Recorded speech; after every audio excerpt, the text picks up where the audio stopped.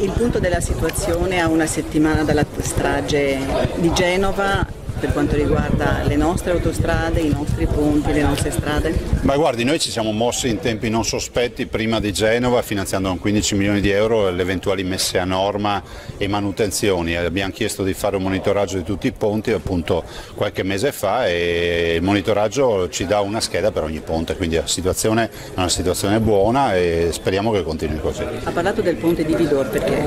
Ma perché ci preoccupa, perché è un'infrastruttura che è un'infrastruttura simbolo identitaria identitaria perché va messa a norma, va salvaguardato e perché penso che in questo progetto nazionale di opere e questo piano Marshall non ci possa non essere il ponte di parla, si parla di un piano Marshall, non abbiamo ancora le idee chiare su quanto è successo, non abbiamo neanche i mezzi e siamo alla vigilia della finanziaria. Ma guardi, io penso che sia fondamentale sottolineare che il governo ha deciso una cosa importante, di dedicare fondi eh, e tanti alla messa a norma delle infrastrutture, delle scuole, io ci aggiungerei anche degli ospedali.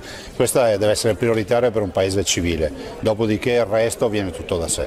Anche con Renzi si era partito con la scuola sicura eh, e poi sono crollate i ponti e anche le scuole. Eh, vuol dire che bisogna lavorare tanto e fare in modo che non crollino. Certo è che non è il primo purtroppo questo ponte e speriamo che, che sia l'ultimo, eh, bisogna intervenire velocemente nelle infrastrutture nazionali dove immagino che le manutenzioni non siano proprio eccesse.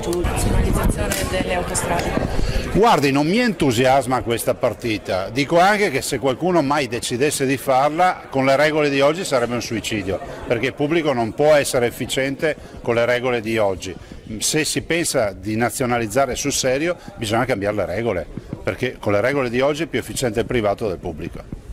Il 30 agosto Salvini sarà qui per il protocollo per i controlli sulle infiltrazioni mafiose. Potrebbe essere una firma che accelera anche il cantiere per la pedemontana? Beh, il cantiere sta andando avanti alle, alle sue alle sue tempistiche e cronoprogrammi che sono definiti. Certo è che accelera ovviamente tutto quello che sono i controlli, controlli ai quali noi non ci siamo mai sottratti, abbiamo sempre coinvolto le istituzioni dello Stato e questo deve essere chiaro a tutti. Ecco, dopo anche quanto accaduto a Genova ci saranno diciamo, ulteriori monitoraggi o controlli proprio per quanto riguarda questo cantiere e poi insomma, i lavori successivi? Ma sì, ma questo sì, questo lo stiamo facendo, peraltro è già nei programmi, non vorrei che passasse l'idea che il Veneto fa i controlli dei ponti o controlli sulla pedemontana invece è stato Genova, noi le abbiamo decise prima queste cose.